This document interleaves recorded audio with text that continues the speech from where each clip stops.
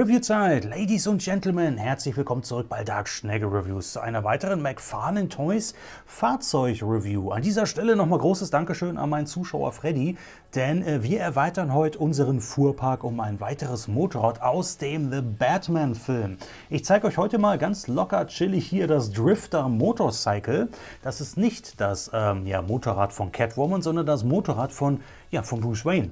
Na, vielleicht könnt ihr euch erinnern, wenn ihr The Batman gesehen habt, dass Bruce Wayne auch tagsüber so ein bisschen privat durch die Gegend gefahren ist und den einen oder anderen Schurken halt ausspioniert hat. Und das ist sein Bike hier. Na, also auch das könnt ihr euch holen. Na, äh, ich glaube, insgesamt von McFarlane Toys zu The Batman gibt es drei, ich glaube, drei Bikes halt. Na, und das das Drifter Bike, das gucken wir uns heute mal an. Ist auf jeden Fall auch sehr, sehr interessant. Und ich weiß ja auch, dass das letzte Bike schon bei euch ganz gut ankam. Leider gibt es jetzt hier keinen Bruce Wayne für mich, den ich darauf setzen kann. Aber nur zum Vergleich werde ich euch natürlich dann auch nochmal den Batman dazu packen auf seinem Bike. Ansonsten, ihr seht ja, ist wie diese typische schöne längliche Verpackung. Da ist das Bike schon drin. Ne? DC Multiverse vorne drauf. Hier das The Batman Logo. Das Bike ist ab 12 Jahren aufwärts, was wir auch hier sehr schön sehen können. Ansonsten nichts Spektakuläres. Auf den Seiten steht dann hier auch nochmal Drifter Motorcycle vom The Batman. Na, am interessantesten ist wahrscheinlich dann eher nochmal so ein bisschen die Rückseite für euch. Denn da haben wir nochmal zwei Bilder tatsächlich mit dem Bike. Also einmal ohne Bruce Wayne oben drauf und hier nochmal mit der Bruce Wayne Figur selbst, die es auch separat gibt, bei der ich aber sagen muss, die sah nicht wirklich toll aus. Also die sah echt nicht gut aus. Na, ne? aber dafür gibt es Gott sei Dank auch noch mit dem Bike zusammen hier eine kleine Lösung, wenn euch der Headscard nicht gefällt. Auf der linken Seite nochmal, ne, so typisch, was wir alles in der The Batman Line hatten. Ich, das ist so klein, das kann ich gerade so erkennen. Ich sehe den Pinguin, den habe ich euch übrigens gezeigt, genauso wie daneben die Catwoman. Dann haben wir noch den Riddler und natürlich auch noch unseren Batman. Müsste mal in die McFarlane Toys Playlist bei mir reingucken. Da habe ich äh, bis auf ein paar Ausnahmen eigentlich auch dann alle gezeigt. Na, sind auf jeden Fall sehr, sehr coole Figuren. Ich würde sagen, wir packen das Drifter Motorcycle jetzt mal aus. Na, und dann bin ich mal gespannt, wie sich dieses Bike hier ja, ja, macht, wie es umgesetzt ist.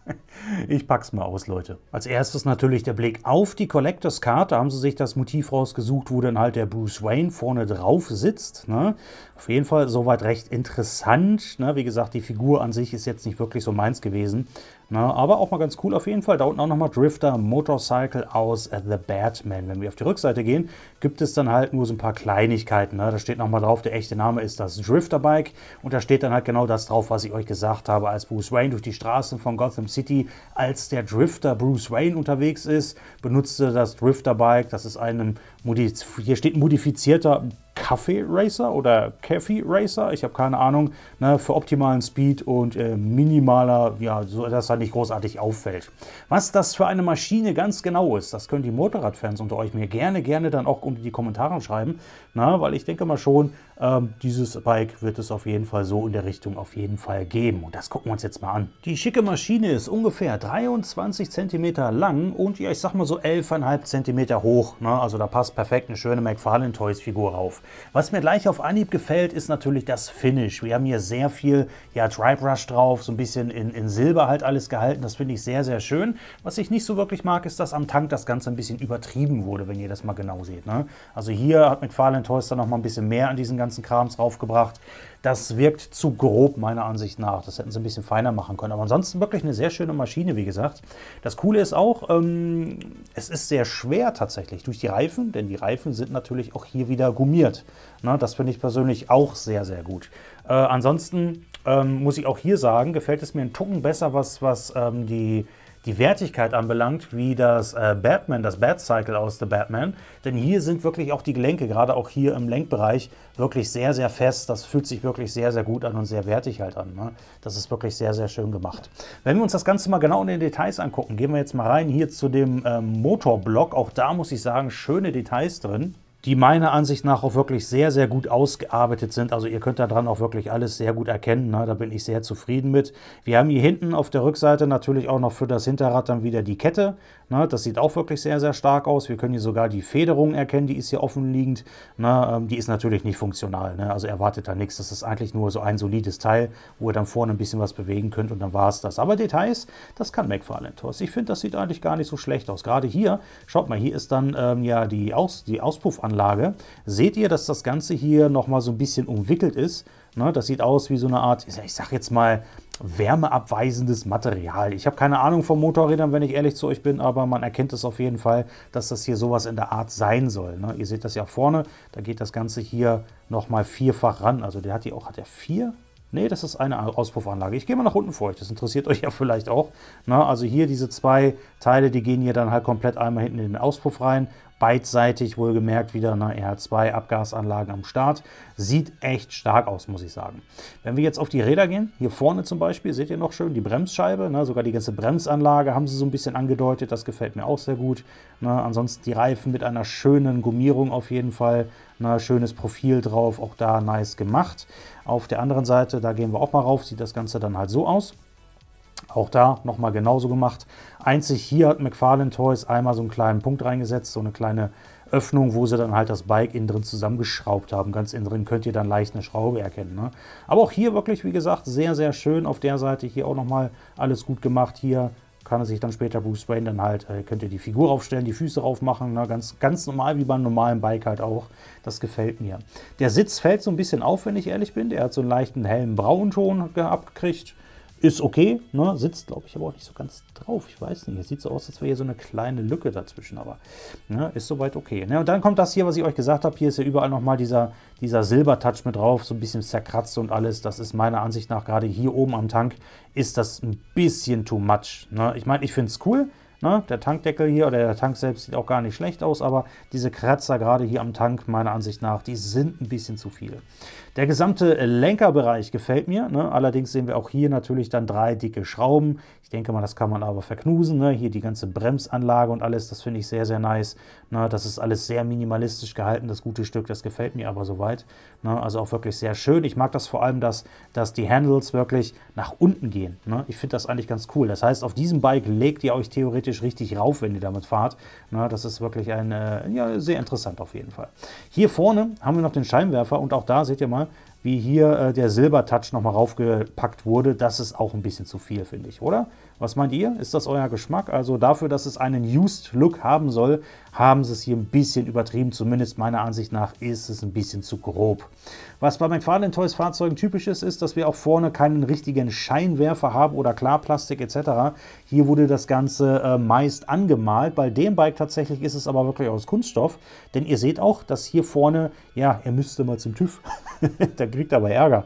Hier vorne ist sein Scheinwerfer schon eingerissen. Das finde ich eigentlich ganz cool gemacht. Das ist nicht raufgemalt, das ist wirklich so gemacht. Das ist so eine Kunststoffscheibe, die sie raufgeklebt haben, ne, mit so einem kleinen Riss drin. Also auch da wirklich cool. Ne? Also ihr seht schon, detailtechnisch kann sich das Bike hier natürlich auch sehen lassen. Und wenn ihr The Batman-Fan seid und auch die ganzen Fahrzeuge von McFarlane Toys sammeln wollt, na, da könnt ihr auf jeden Fall zuschlagen. Das Ding, das ist echt schön gemacht.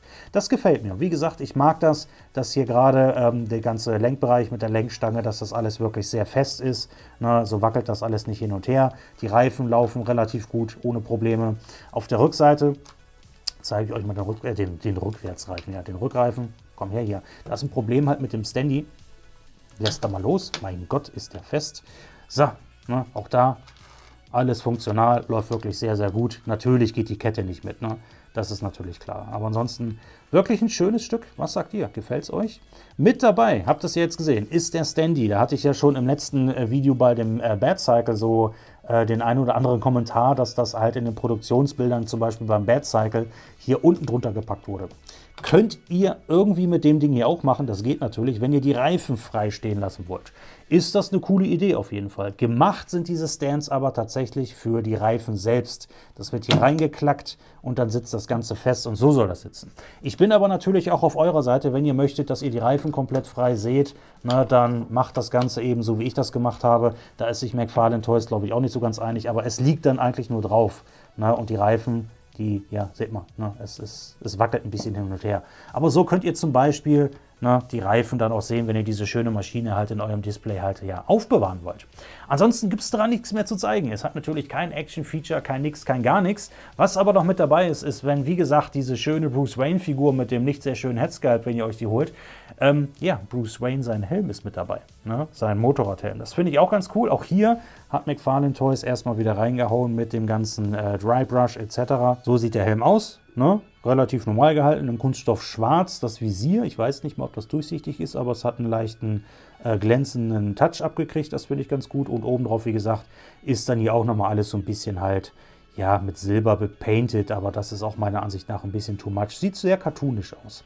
Wenn ihr jetzt Bruce Wayne habt, dann äh, könnt ihr den Helm dann natürlich nicht einfach auf diesen Headsculpt draufsetzen. Ihr müsst den Kopf abnehmen, denn innen drin, das seht ihr schon, da ist natürlich hier Platz dann für das äh, Kugelgelenk ne, vom Nacken. Da könnt ihr dann halt einfach den Kopf abnehmen und da den Helm draufpacken und ich glaube, dann sieht das auch tatsächlich wirklich sehr cool aus. Ne?